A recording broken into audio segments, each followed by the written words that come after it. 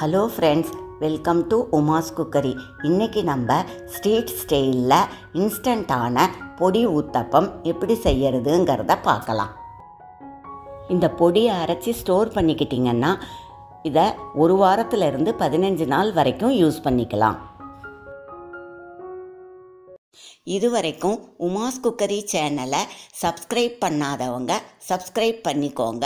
கூடவே பக்கத்தில் இருக்கிற பெல் ஐக்கானையும் கிளிக் பண்ணிக்கோங்க. பொடி அரைக்கிறதுக்கு ட்ரை பேனில் பத்து சிகப்பு மிளகாயை சேர்த்து லேசாக கலர் மாறாமல் வறுத்து எடுத்துக்கோங்க. இதுலேயே ரெண்டரை ஸ்பூன் உளுத்தம்பருப்பு ரெண்டரை ஸ்பூன் கடலைப்பருப்பு கால் ஸ்பூன் மிளகு சேர்த்துக்கோங்க. அடுப்பை லோ ஃப்ளேமில் வச்சு கலர் மாறாமல் வறுத்துக்கோங்க. பருப்பு பாதி வறுபட்டதும் பத்து பல் பூண்டு சேர்த்துக்கோங்க.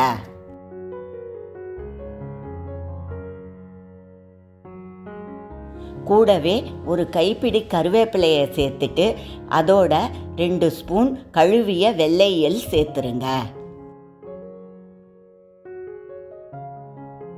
இது எல்லாத்தையும் லோ ஃப்ளேம்லேயே வச்சு வறுத்துட்டு வாசனை வர்ற வரைக்கும் வறுத்து எடுத்துக்கோங்க.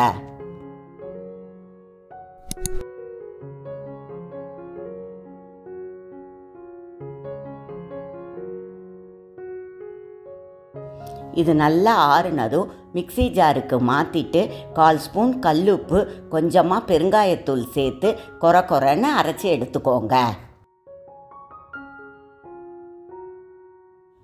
பொடி இந்த அளவுக்கு கொர கொரன்னு இருக்கணும். தோசை டாவா நல்லா காஞ்சதும் கொஞ்சமாக எண்ணெய் தடவிட்டு ஒரு கரண்டி மாவை சேர்த்து ஊத்தப்பம் போல் நிறவிக்கோங்க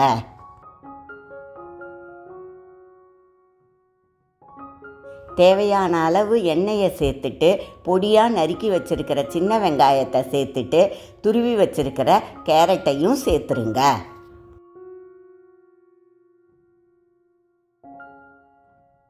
நம்ம அரைச்சி வச்சுருக்கிற பொடியை உங்கள் காரத்துக்கு தகுந்த அளவு சேர்த்து ஸ்ப்ரெட் பண்ணிக்கோங்க.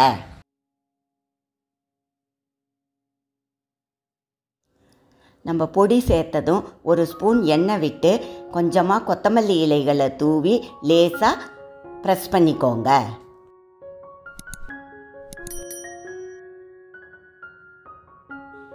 இதை நிதானமாக திருப்பி போட்டு ரெண்டு பக்கமும் கோல்டன் ப்ரௌன் வந்ததும் எடுத்துடுங்க.